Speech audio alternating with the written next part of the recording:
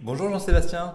Bonjour. Alors chez Trustim, tous vos fonds sont, euh, ont le label ISR. Euh, alors en quoi la satisfaction client, euh, quel est le rapport entre la satisfaction client et l'ISR Eh bien oui, effectivement, chez Trustim, nous avons voulu depuis longtemps donner un sens à l'épargne et à l'investissement.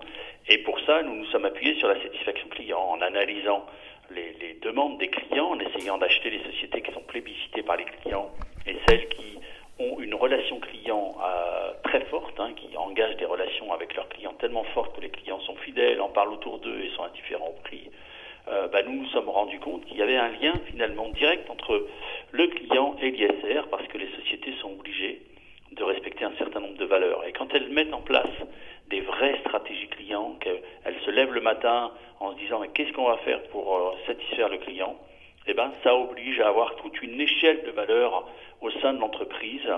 Et donc, elle respecte aussi, évidemment, euh, bah, la gouvernance, l'environnement, les clients mhm. et tous les critères euh, de l'ISR euh, qu'on déroule à chaque fois sont respectés. Donc, nous, notre approche est vraiment, en partant du client, de sélectionner des entreprises et ensuite de faire un contrôle des risques ISR a posteriori, de regarder dans nos fonds si les entreprises qu'on a sélectionnées sur la base de nos critères clients satisfont aux critères ISR. Alors peut-être, euh, Jean-Sébastien, que votre méthode est le futur de, de la gestion ISR Eh bien oui, euh, c'est ce qu'on pense euh, sans aucune humilité chez Trustim.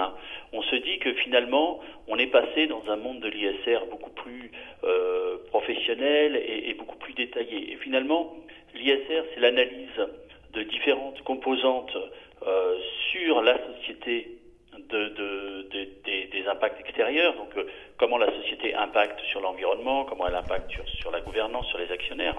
Nous, on a pris le point de vue du client.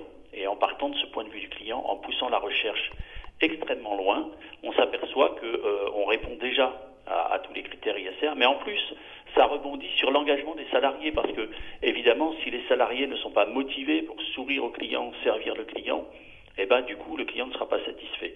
Or, pour qu'il y ait un engagement des salariés très fort, il faut que ces salariés aient une confiance dans leur management et dans la stratégie d'entreprise, et donc que euh, bah, les critères ISR du respect des salariés soient finalement respectés. Et du coup, euh, bah, on s'aperçoit qu'on passe dans une vision de l'ISR un peu différente, eh un peu plus évoluée, et, nous allons continuer de dérouler cette approche. Parce que vu sous cet angle, ça, ça doit euh, générer de la performance.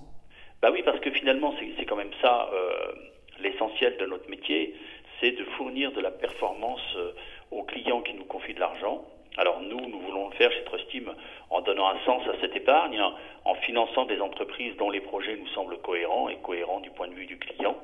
Mais euh, les fonds, tous les fonds que nous gérons, et notamment le, fonds ROC, hein, qui est le, fonds emblématique, le premier fonds au monde à s'être appuyé sur la satisfaction client, bah, surperforme euh, assez largement sur euh, dernières années, depuis son lancement au 31 décembre 2010, la, moyenne des fonds concurrents.